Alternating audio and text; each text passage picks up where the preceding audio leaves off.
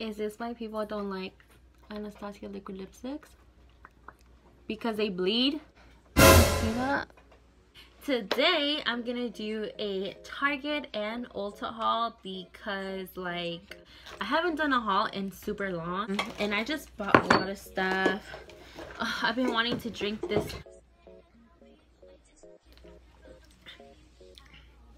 Damn, I haven't had a Red Bull in like so long.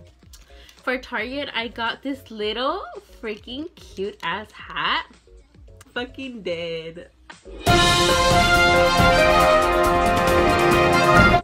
I'm fucking dead. That they're never gonna wear only for a picture probably. Okay, so I also got this Live Love Embark. That is so cute. I got two of these right here. I got this right here. Um, they only had three colors, blue and green and this light pink. And obviously I'm gonna go with the light pink. Ah, so much freaking light on this. So, this is what it looks like. And I was just planning to put, um, like, my eyelashes because they're always all over the place. And when I set them down, I always set them down in my desk.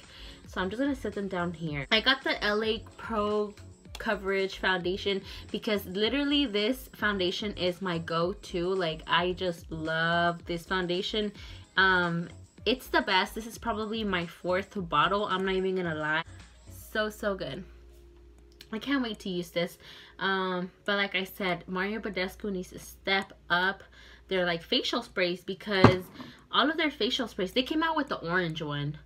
Like, got this Mally Poreless Perfection Foundation. This is a pressed powder foundation. You're going to be like, hold up, girl, what? You only use liquid foundations and, I, and stick foundations. And I'm like, yeah, girl, but guess what?